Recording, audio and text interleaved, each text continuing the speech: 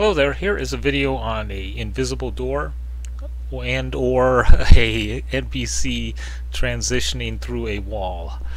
So this is one of the only ways of doing it. The, uh, the other way that I have done it is, uh, and you can see that in one of my previous videos, is that I retextured the cobweb block and uh, you can set NPCs to um, ignore cobwebs. So if you if you texture a cobweb block as a stone block and then put cobweb blocks here, he could go right through it, as as well as you could too. Um, but this is uh, these are scripted blocks here, and as you can see, there's three of them. Um, right now, they're uh, set as passable. See, I can I can walk right through this one here. Um, but uh, it's currently set that it won't let me walk through there. If I walk through this one, it will prevent, it will set these as not passable. But if the NPC walks over that one, or walks through that one, I did have it down here below, and it wasn't working uh, when I had it there. But it, you could put it there, and it works. It works great right now. Um, it has no problem. Before he had some trouble hitting that block. I'm not quite sure why. Um, but uh, what else was I going to say? Yes, so it won't let me through there at all. So if I go like that, it, it, it basically locks it now and there's nothing on the other side that will open it for him. So right now he's trapped back there. Okay. So uh, I also have these this block. If I click on it, it will make it passable again. So we could just uh, click on that and then click on that, and that makes it passable. And uh, set on moving path. No, he will come out. Um, and it's it's interesting. I could click on the bottom one here because the top one is passable, and then then I click again, and that's clicks on the top one. so um, they are clickable. It's interesting. Interactable, um, luckily. Which you wouldn't uh, think they would be.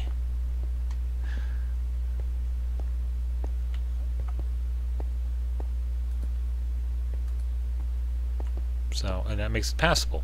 So, let me get over here inside of here with him and I need to set him to just stand still here for a second and I'll show you something else that you can do here. Uh,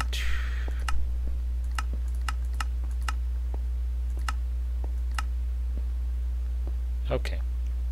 So he will he's in standing now and he is aggressive to me so I'll show you what happens when I run out there. Now if I run out this door, see right now they're passable to me until I hit that block on the other side. So if I run out that door, it's going to lock these blocks, okay? So he won't be able to follow me. If I can get out there without him killing me, okay. So you see, I ran out here and that locked these blocks now. They're not passable because I hit this one before he was uh, uh, through the block. So, however, if I make those passable now, I will come here and I'll now those are passable now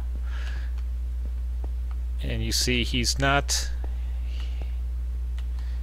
he's not going to attack me. Let me see.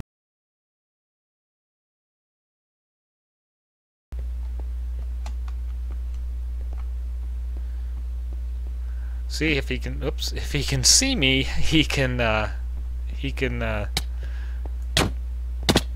all right. Once he sees me, he can. Uh, he can track me.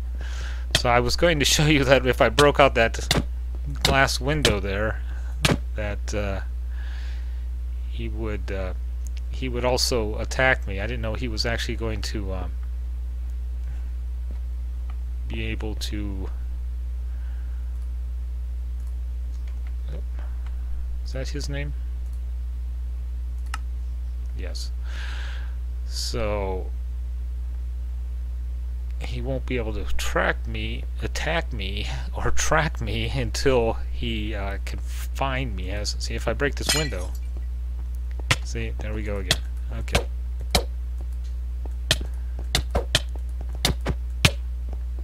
So that's that's interesting. That's uh, at least one way to set up a one-way door, an invisible door. You can see it's a little bit different.